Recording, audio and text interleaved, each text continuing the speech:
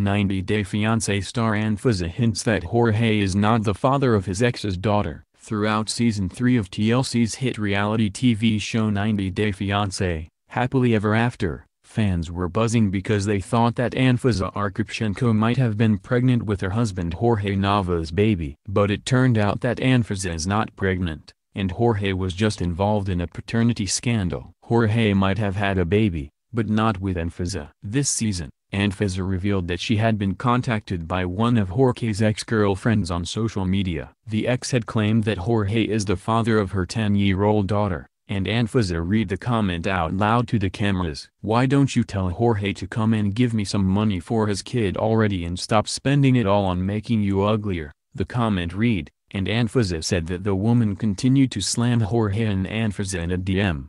You know, after seeing the show and, Jorge, saying that he actually has money, I feel like it's really fked up that he's never really, helped, me that much and he knows damn well that's his kid but it's cool you know, I don't need nobody, sick, the woman wrote.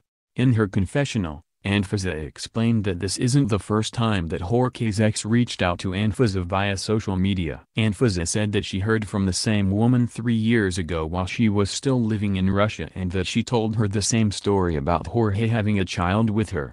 I didn't believe her at the time because our relationship was still new and I thought it was just like, some crazy ex, Anfisa said. But, I don't know what to believe anymore. Anfisa said she confronted Jorge about it the first time his ex reached out to her and he denied it. But Anfisa has seen pictures of the woman's daughter and she said she thinks there are some similarities between the little girl and Jorge. It bothers me if Jorge has a child in the past that he has abandoned, Anfisa said, and she got very emotional. I always wanted to have a family with Jorge and have kids with him, but like, Maybe it's his kid and he says it's not. I don't want the same thing to happen to me, that I will, have his, kid and he'll just be like, it's not mine. But Anfisa made it very clear that if Jorge had a baby outside of their marriage, it would be over. If this kid is really his, I don't want anything to do with Jorge ever again. Anfisa revealed in her confessional. Who is Jorge's baby mama? Little is known about the woman Jorge was speaking on the phone with, but it's definitely not Stevie Ryan the late YouTuber whom he allegedly cheated on Anfisa with last year before her death. Stevie did not have any children before she passed away, so that could just mean that she wasn't the only woman Jorge had an affair with while he was married to Anfisa.